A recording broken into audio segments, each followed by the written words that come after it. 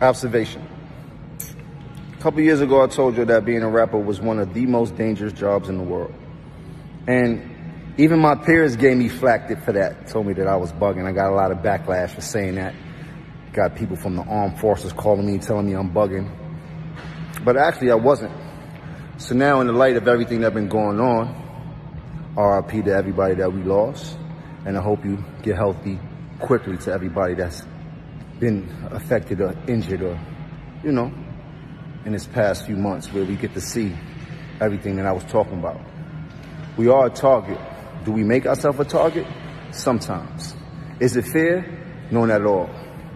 But nevertheless, to all my artists, to all my rappers, stay safe and stay dangerous.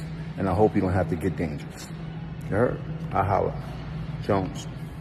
There was a time where the people will protect the artists. Now it seems like the artists are more of a target than anything. Like look at all the deaths and all of the shootings and uh, uh, that happened to rappers in this in this past year alone. Like I've been in this game a long time. I've never seen so much every violence week, every day. against an artist in in my life in, in in the time of me being in this music. This has been a vicious year. Like it's it's going down. Every time you look on IG or something, there's another rapper in another town, whether it be a local rapper, whether it be a rapper that we all know. Like we getting gunned down here. Like it's it's it's, it's kind of crazy when I when I look at it. So Is it is it some of the rappers' faults or is it jealousy?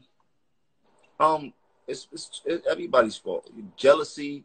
Rappers got a we we got a, a problem with rubbing it in people's faces. Um, when we come rappers, it, it feels like some of us think that we're Superman and we're not human anymore.